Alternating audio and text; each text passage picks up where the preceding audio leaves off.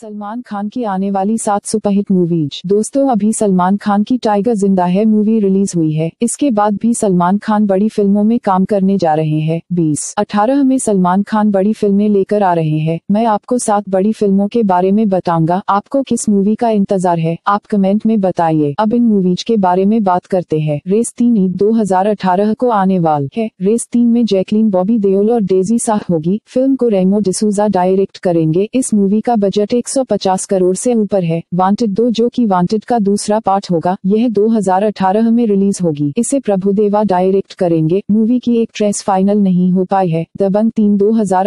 के लास्ट में आएगी इस मूवी को अरबाज खान डायरेक्ट करेंगे नो एंट्री में एंट्री मूवी 2018 या 2019 में आएगी इस मूवी का बजट 100 करोड़ के आसपास होगा मूवी को बोनी कपूर प्रोड्यूस करेंगे भारत मूवी 2019 सीट पर आएगी इस मूवी को अतुल अग्निहोत्री बना रहे हैं इससे पहले उन्होंने उन्होंने बॉडीगार्ड मूवी बनाई है किक दो मूवी 2019 में आर एगी ट्रेस के रूप में दीपिका का नाम आया है इस मूवी को साजिद नदियावल प्रोड्यूस और डायरेक्ट करेंगे पार्टनर दो भी 2019 में आएगी मूवी में सलमान और गोविंदा की जोड़ी होगी मूवी को डेविड धवन बनाएंगे यह सलमान खान की आने वाली मूवी है अगर आप किसी और हीरो की मूवीज जानना चाहते हैं तो आप कमेंट में लिखें